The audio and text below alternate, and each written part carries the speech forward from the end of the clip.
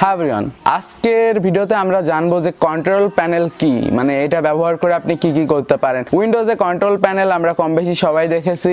আর এটা কীভাবে ব্যবহার করতে হয়, এটা ব্যবহার করে আপনি কি কি কাস্টমাইজেশন করতে পারেন? যদিও কন্ট্রোল প্যানেলে অনেক অনেক প্রকার সেটিং এবং কাস্টমাইজেশন রয়েছে। তো আমি আপনাদের এগুলো সম্পর্কে অনেক অনেক ধারণা দেওয়ার চেষ্টা করব এবং এগুলো ব্যবহার করে আপনি আপনার ডেলি লাইফকে অনেক ইজি করতে পারবেন। তো ভিডিওটি শুরু করার আগে অবশ্যই লাইক দিয়ে নেবেন। তো চলুন দেখা যাক।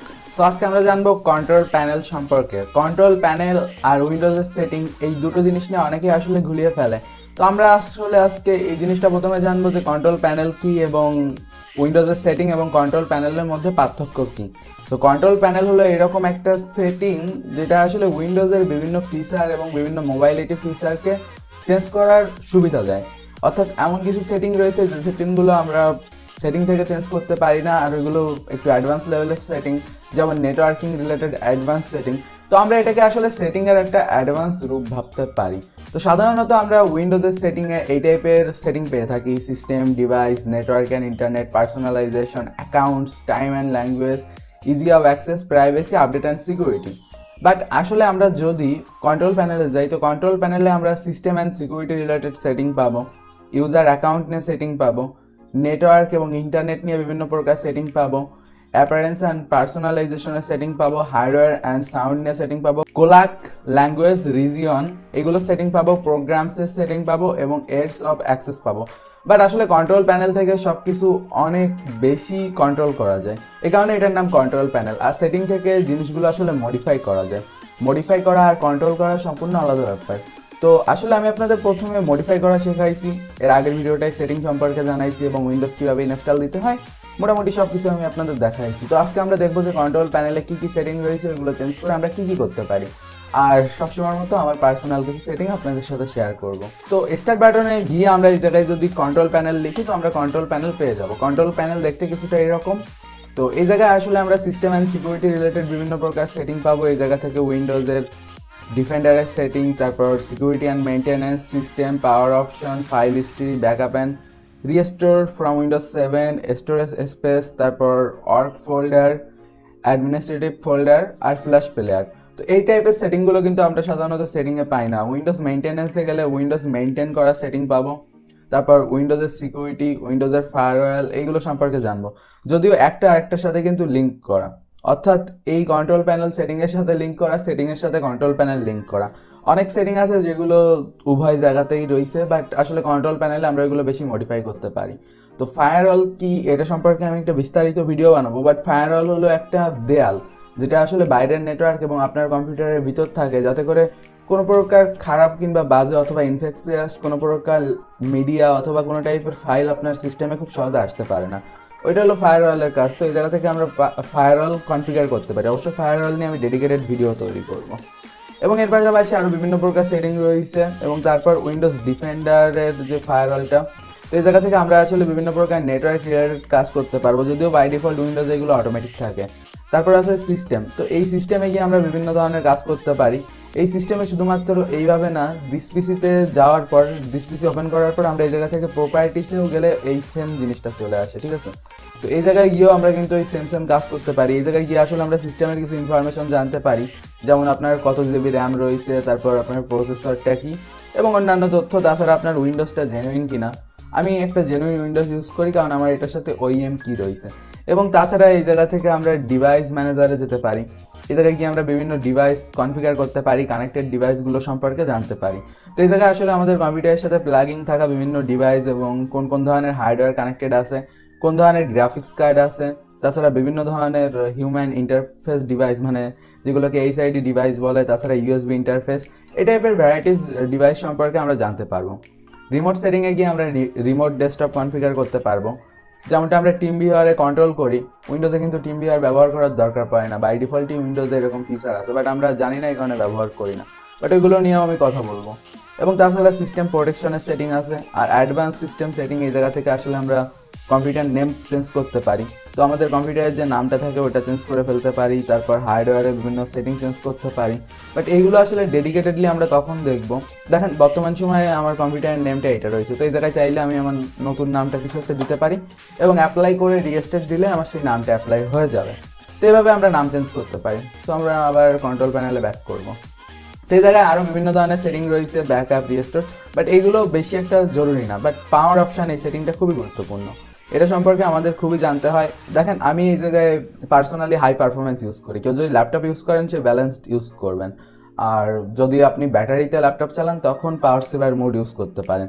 তো চেঞ্জ দ্য সেটিং এই সেটিংয়ে গেলে আসলে আমরা দেখতে পারব ডিসপ্লে কত পর পর অফ হয়ে যাবে। আর ডিসপ্লে কত পরপর স্লিপে চলে যাবে। মানে আপনার যে ডেস্কটপটা রয়েছে, তো কতক্ষণ পরপর স্লিপে যাবে।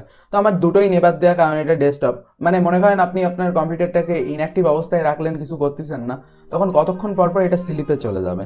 আর চেঞ্জ অ্যাডভান্স পাওয়ার সেটিং এই জায়গা থেকে আমরা অ্যাডভান্সভাবে এগুলো আসলে কনফিগার করতে পারি।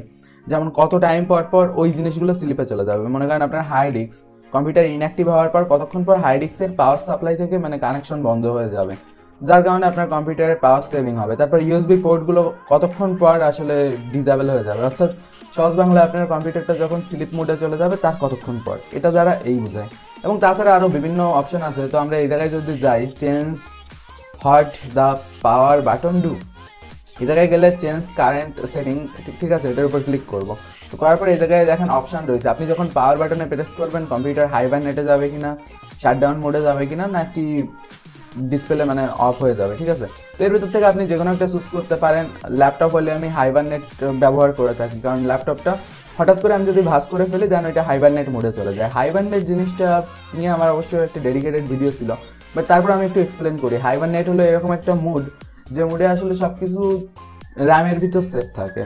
মানে এক ধরনের প্রাণী আছে না, ওই যে ভাল্লুক শ্বেত ভাল্লুক ওরা আসলে শীতকালে মানে শীতকালে বেশি একটা বাইরে বেরোয় কিন্তু পুরো গরমকাল আসলে ওরা গরম সহ্য করতে পারে না। এই কারণে গুহার মধ্যে থাকে। তো ওইটাকেই আসলে হাইবারনেশন বলা হয়ে থাকে। তো এই ধরনের আরও বিভিন্ন প্রকার হাইবারনেশন আছে। তো এইটাকে আসলে হাইবারনেট বলা হয়ে থাকে মানে আপনার কম্পিউটার বন্ধ করে দিলেও আপনার সব কিছু র্যাম সেফ থাকতেছে। আর আমরা যখন শাট ডাউন করি, তখন কোনো কিছুতে কিছু সেফ থাকে না। মানে র্যামে ট্যামে কোনোটাই সেফ থাকে না। আর স্লিপে রাখলে আসলে সব কিছু অন থাকে, আবার কিছু অন থাকে না। মানে কিছু কিছু জিনিস অন থাকে, কিছু কিছু জিনিস অন থাকে না। বাট স্লিপ মোড আমি কখনো প্রেফার করি না। আর এই মোডগুলো আসলে বাই ডিফল্ট উইন্ডোজে থাকে। আর আপনি এর ভেতর থেকে চুজ করতে পারেন। আমি প্রথমেই বলেছি যে কিসে কি চুজ করবেন। তো এই টাইপের বেশ কিছু সেটিং আপনারা পাবেন। তারপর আছে ইউজার অ্যাকাউন্ট এই জায়গায় গিয়ে আমরা ইউজারের অ্যাকাউন্ট পরিবর্তন করতে পারি। বাট আমি আসলে পার্সোনালি রিকমেন্ড করব না ইউজার সেটিং নিয়ে বেশি একটা চেঞ্জ করা। এই সেটিংটা অনেকে আসলে পরিবর্তন করে বিভিন্ন প্রকার সমস্যার সৃষ্টি করতে পারে। এরপর আছে নেটওয়ার্ক অ্যান্ড ইন্টারনেট তো এই জায়গা থেকে আমরা নেটওয়ার্ক অ্যান্ড শেয়ারিং অপশানে যেতে পারি। তো আপনি যদি কোনো নেটওয়ার্ক কনফিগার করতে চান, তো এই জায়গা থেকে করতে পারেন। As example change hardware setting তো মনে করেন আমার ডেস্কটপে এখন ইথারনেট কানেক্টেড আছে। আমি পার্সোনালি ইথারনেট প্রেফার করি। কারণ আমি ডেস্কটপে ইউজ করতেছি এখন, তো ডেস্কটপে ইথারনেট সব থেকে ভালো এর কারণ কি ওয়াইফাই রেডিয়েশন ক্রিয়েট করে। তো আমার এক্সট্রা রেডিয়েশন কখনো পছন্দ না। বাট এখন যদি আমার ইথারনেটটা অফ করার প্রয়োজন পড়ে, তো আমি কি ইথারনেটের তারটা খুলে ফেলব পিসি থেকে? না। ইথারনেট অফ করার খুবই সিম্পল একটা সিস্টেম আছে জায়গা থেকে আমরা ডিজাবেল করে দিতে পারি। এই ডিজাবেল বাটনে প্রেস করার সাথে সাথে আমাদের ইথারনেট অ্যাক্টিভ হয়ে যাবে। আবার এই জায়গা থেকে আমরা আনাবেল করতে পারি। এবং এর পাশাপাশি বিভিন্ন যদি ওয়াইফাই ডিভাইস আপনার সাথে কানেক্টেড থাকে ল্যাপটপ থাকে, এই জায়গায় আরও প্রকার সেটিং আসবে। এবং এইটার প্রপার্টিসে গিয়ে আমরা ফিচার আনেবেল ডিজাবেল করতে পারি। অ্যাজ এক্সাম্পল আপনি যদি আইপি ভার্সন ফোর অফ করতে চান অথবা ভার্সন সিক্স অন অফ করতে চান, এই জায়গা থেকে সব করতে পারেন এবং বিভিন্ন ধরনের টেকনোলজি এই জায়গায় রয়েছে। তো এইগুলো অপন করে আপনি বিভিন্ন ধরনের কাস্টমাইজেশন করতে পারেন বাট আপাতত আপনাদের এগুলোর দরকার নেই। বাট কোনো নেটওয়ার্ক ডিজাবেল করা আনাবেল করা খুব সহজে আমরা এই জায়গা থেকে করে নিতে পারি। এবং তারপর আছে ইন্টারনেট এই জায়গা থেকে আমরা ডিফল্ট ব্রাউজার এবং অন্যান্য বেশ কিছু নেটওয়ার্ক কানেকশনের সেটিং চেঞ্জ করতে পারি। তবে নেটওয়ার্ক অ্যান্ড শেয়ারিং সেন্টারে আরেকটা সেটিং ছিল যেটাকে শেয়ারিং বলা হয়ে থাকে, ঠিক আছে? অ্যাডভান্স শেয়ারিং সেটিং তো এই জায়গা থেকে না আমরা আসলে শেয়ারিং অন করতে পারি। মনে করেন আপনার রাউটারের আন্ডারে যদি মাল্টিপল কম্পিউটার কানেক্টেড থাকে, তো তখন আসলে আপনি একটা কম্পিউটার থেকে অন্য একটা কম্পিউটারে ফাইল শেয়ার করতে পারবেন জাস্ট ওই ইথারনেটের থ্রু শেয়ারিংয়ের থ্রু এর জন্য আপনাকে পেন ড্রাইভে দিয়ে ফাইল বারবার ট্রান্সফার করা লাগবে না। অবশ্য এটা আমি ডেডিকেটেড একটা ভিডিওতে দেখাবো যে কীভাবে আসলে এটা কাজ করে। তো তার জন্য আমাদের চ্যানেলে মাস্ট সাবস্ক্রাইব করে রাখবেন। এবং এরপর আছে অ্যাপিয়ারেন্স অ্যান্ড পার্সোনালাইজেশন এই জায়গা থেকে আমরা বিভিন্ন ধরনের নেভিগেশন সেটিং চেঞ্জ করতে পারি। তো এটা আসলে আমাদের মেন সেটিংয়ে নিয়ে যাবে, ঠিক আছে? তো ওই মেন সেটিংয়ে আমরা যে সমস্ত এই ন্যাভিগেশন বারটার এই সমস্ত আমরা পড়লেই বুঝতে পারব, ঠিক আছে? এই যে automatic hide the taskbar in desktop mode তো এটা দিলে আমাদের এটা হাইড হয়ে যায় এবং তারপর এরকম বিভিন্ন ধরনের মুড রয়েছে এই জায়গায়। ইউজ স্মল বাটন দিলে এটা ছোট ছোট হয়ে যাবে। তো এই টাইপের সিম্পল সিম্পল কিছু ফিচার আছে ট্যাক্স বার আমরা টপে নিতে পারতেছি। অনেকে টপে প্রেফার করে বাট আমি না বাই ডিফল্ট ইউজ করি। এই যে বাটমে যেটা থাকে, এটা আমার ভালো লাগে, জানি না কেন। তো এই জায়গায় কাস্টমও আমরা করতে পারি কাস্টম করে আমরা এটাকে চেঞ্জ করে নিতে পারি। এটা সম্পূর্ণ আপনার ব্যক্তিগত ব্যাপার, আর স্মল বাটনও আমি ইউজ করি না। আমি বাই ডিফল্ট যেমন রয়েছে, এটা বেশি একটা প্রেফার করি। এবং এর পাশাপাশি আমরা এই জায়গা থেকে আরও বিভিন্ন প্রকার সেটিং চেঞ্জ করতে পারি, যেমন ফন্ট চেঞ্জ করতে পারি উইন্ডোজে বিভিন্ন প্রকার ইনস্টল ফন্ট এগুলো আমরা মডিফাই করতে পারি ডিলেট করতে পারি, নতুন ইনস্টল করতে পারি। তো এইগুলো খুবই সহজ ব্যাপার। আর তাছাড়া ডেস্কটপের বিভিন্ন গ্যাজেটের সেটিং চেঞ্জ করতে পারি। যেমন বিভিন্ন প্রকার ডেস্কটপ গ্যাজেট আইকন হয় না? যে মনে করেন আমি একটা গ্যাজেট এনে দেখাই। অবশ্যই এটা বাই ডিফল্ট আরও আসবে না। এর জন্য একটা গ্যাজেট প্যাক ইনস্টল করতে হয়, যেটা হলো এইট গ্যাজেট প্যাক নাম। এবং এরপর হার্ডওয়্যার অ্যান্ড সাউন্ড সেটিং এই জায়গা থেকে আমরা বিভিন্ন প্রকার ডিভাইস মডিফিকেশন করতে পারি। এই জায়গায় বিভিন্ন ধরনের কানেক্টেড ডিভাইস আমাদের দেখাচ্ছে। তো জায়গা থেকে আমরা এই ডিভাইসগুলো সম্পর্কে জানতে পারি। যেমন, আমার তিনটা মনিটর কানেক্টেড একটা, দুটা, তিনটা। তারপর মাইক্রোফোন কানেক্টেড তারপর ডেস্কটপ কানেক্টেড এবং কিবোর্ড কানেক্টেড তারপর আমার অবশ্য দুটো কিবোর্ড আর দুটো মাউস কানেক্টেড একটা ওয়্যারলেস আর একটা নন ওয়্যারলেস আর এই জায়গায় আরও বিভিন্ন ধরনের ডিভাইস কানেক্টেড আছে। তো আপনার কী কী কানেক্টেড ডিভাইস রয়েছে এগুলো জানতে পারবেন অটো পেলে মানে আপনি যখন একটা ইউএসবি অথবা কোনো ডিভাইস কানেক্ট করবেন তখন আসলে কি হবে? তারপর সাউন্ড রিলেটেড সেটিং তো এইটা খুবই গুরুত্বপূর্ণ। যেমন আমার মাইক্রোফোন কানেক্টেড রয়েছে, আপনারা দেখতে পাচ্ছেন এই জায়গা থেকে। দেখা যাচ্ছে। তো এই জায়গা থেকে আমরা চাইলে না ওইটার ভলিউম টলুম কন্ট্রোল করতে পারি। এগুলো বাড়ালে ওটার ভলিউম বেড়ে যাবে এবং তাছাড়া এই জায়গা থেকে ওটার বিট রেট চেঞ্জ করতে পারি। বাট আমি এখন কোনো সেটিং অ্যাপ্লাই করব না। এটা করলে আসলে আমার রেকর্ডিংয়ে ঝামেলা হতে পারে। এরপর আমরা সাউন্ড সেটিং চেঞ্জ করতে পারি। তো মনে করেন এই জায়গায় প্লেব্যাক ডিভাইস তো আমার যে প্লেব্যাক ডিভাইস রয়েছে, তো সাধারণত আমি এইচডিএমআই এর মাধ্যমে অডিও প্লে করে থাকি।